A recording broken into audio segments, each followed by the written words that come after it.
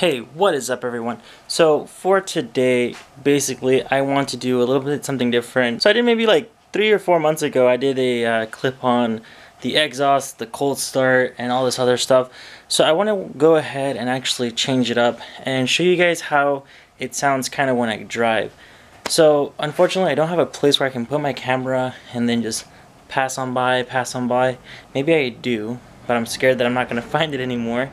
Uh, but I will mount it to the back of my car and then you guys can hear how it sounds. I'm going to try to give it the best mounting position without getting any passing air and at the same time you guys can hear the exhaust. Just let me know what you guys think.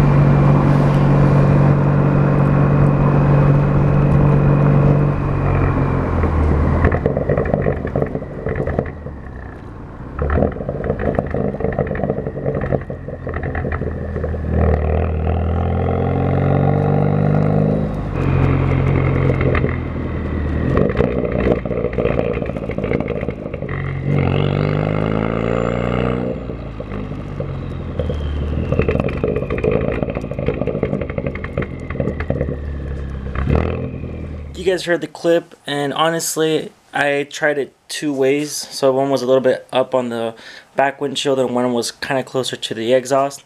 And honestly, one was pretty much warm when I started it up. The other one was more of a cold start. So I went with the cold start first. And lastly, it's just, it's really difficult. Um, when the temperature outside is a little bit kind of cold, the car tends to pop more. When it's warm, it tends to stay more quieter. So it really just depends on the, the way the temperature is outside. Sometimes it'll sound a lot more uh, gurgles or more pops. Uh, in this case, I couldn't get any to come out of it.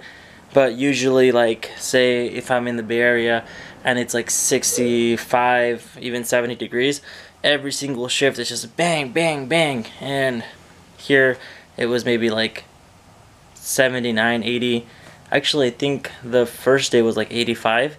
So it, it changes the characteristics of it. So depending on where you live, it'll sound a lot different, but that's how mine sounds in 80 degree weather.